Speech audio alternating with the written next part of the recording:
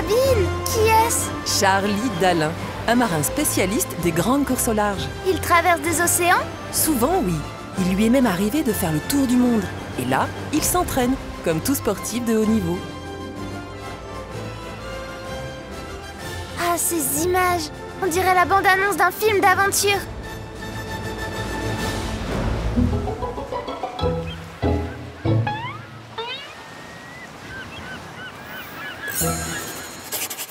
C'est décidé. Moi aussi, un jour, je ferai le tour du monde. Mais dans un bateau équipé d'un gros moteur.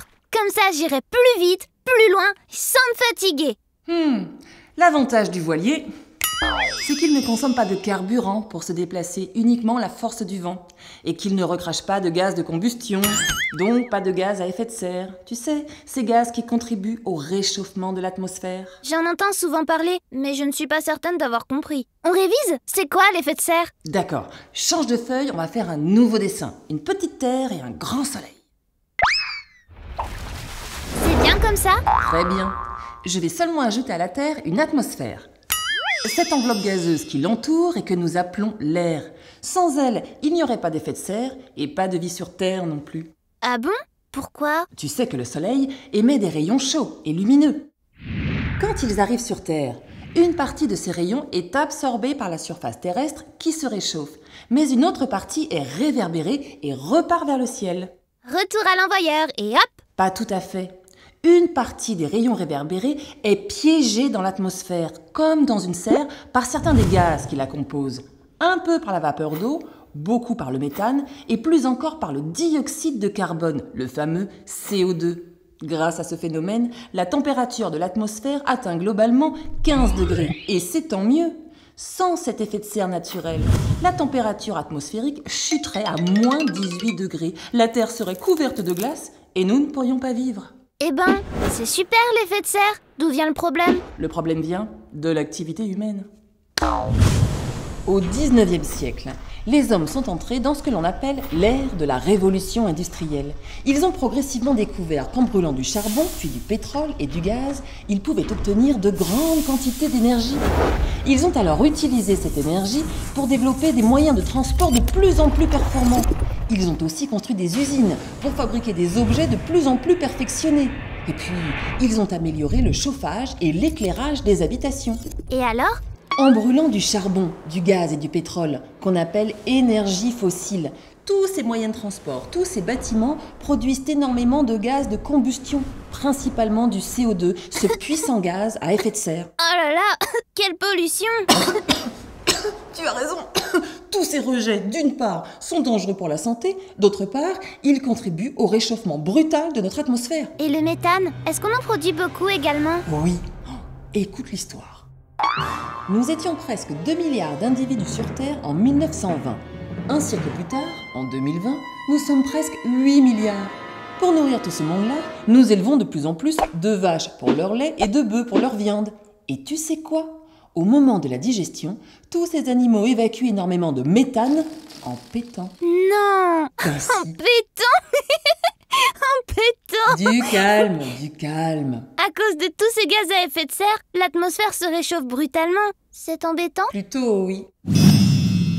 Puisque tu rêves de faire le tour du monde en bateau, je vais te parler de l'impact du réchauffement atmosphérique sur les océans. Je sais, le niveau des océans monte parce que la banquise et les glaciers en montagne commencent à fondre. C'est vrai, chaque année nous perdons de précieuses réserves en eau douce. Mais attention, la fonte des glaces est seulement l'une des raisons de la montée du niveau des océans, et pas la plus importante. Comment ça? Au contact de l'atmosphère qui se réchauffe, l'eau des océans se réchauffe également et se dilate. Se dilate? Oui, regarde. Dans un glaçon, les molécules d'eau sont figées, elles ne bougent pas du tout. Mais quand l'eau commence à chauffer, les molécules se mettent à s'agiter et du coup occupent davantage d'espace. Tu as déjà vu de l'eau bouillir dans une casserole Les molécules s'agitent tellement qu'elles finissent par déborder. Ah d'accord Et si les océans se dilatent en se réchauffant Alors ils inondent des plages? Pas seulement des plages. Dans l'ouest de l'océan Pacifique, par exemple, une dizaine de toutes petites îles très plates ont été complètement submergées. Certaines étaient habitées, les gens ont dû partir. Et si le phénomène persiste, il faut s'attendre à voir de nombreux réfugiés climatiques. C'est triste Et les animaux marins, ils le vivent comment ce réchauffement? Pas toujours très bien. Le corail, par exemple, quand il a trop chaud, expulse toutes les petites algues qui lui donnent sa couleur. Il blanchit. Parfois il guérit, le plus souvent il finit par mourir. Et c'est toute la chaîne alimentaire qui est alors menacée. La chaîne alimentaire? Oui, tu sais, le corail nourrit les petits poissons qui sont attrapés par de plus grands poissons, eux-mêmes chassés par de plus grands prédateurs encore, etc., etc. Si tu détruis un maillon d'une chaîne alimentaire, tu bouleverses tout un écosystème. Et ce n'est pas tout. Oh là là, quoi encore? L'eau des océans capte le CO2 présent dans l'atmosphère. Plus il y a de CO2 dans l'air, plus il y en a dans l'eau. Elle devient acide. Et cette acidité empêche la formation du calcaire nécessaire à la fabrication des coraux ou des coquillages. Encore une menace sur la chaîne alimentaire. Moi, je veux protéger les océans et tous leurs habitants. Mais qu'est-ce qu'on peut faire, Sabine, pour lutter contre le réchauffement de l'atmosphère? Oh, beaucoup de choses. On peut être économe en énergie. Ah oui Éteindre la lumière dans les pièces inoccupées. Oui, très bon exemple. On peut aussi débrancher les appareils électriques quand on a fini de les utiliser, même s'ils ne sont pas équipés de veilleuses. Et quand on peut, se déplacer en vélo plutôt qu'en voiture. Quoi d'autre encore? Si on demandait à Charlie Très bonne idée. Son bateau est amarré à Concarneau, en Bretagne. Tiens, il est là. Charlie, ton bateau est-il économe en énergie? Un bateau à voile, ça utilise une énergie qui est il n'y a pas plus propre que le vent euh, et, durable que le vent. Et on se déplace avec, avec ça. C'est avec ça qu'on se déplace et, et, on atteint des très très hautes vitesses. Et voilà, aujourd'hui, quand on parle euh, véhicule euh, qui se déplace rapidement, dans l'inconscient collectif, on pense forcément moteur explosion, mais non, euh, aujourd'hui, on arrive à, atteindre des vitesses extrêmement élevées en utilisant le vent. Et dans le commerce maritime, peut-être qu'un jour, on reviendra aux, bases, on va dire, de, déplacer les, les, marchandises avec le vent. Ah oui, le vent est une énergie renouvelable. J'ai déjà entendu ce mot. Moi, je suis quelqu'un qui est de nature euh, optimiste et je pense qu'il va falloir du temps pour changer les choses, mais les choses, je pense, ont commencé à changer et on est vraiment tous concernés par, par ces questions. Moi aussi, je suis optimiste parce que même nous, les enfants, pouvons agir pour préserver les océans et leurs habitants.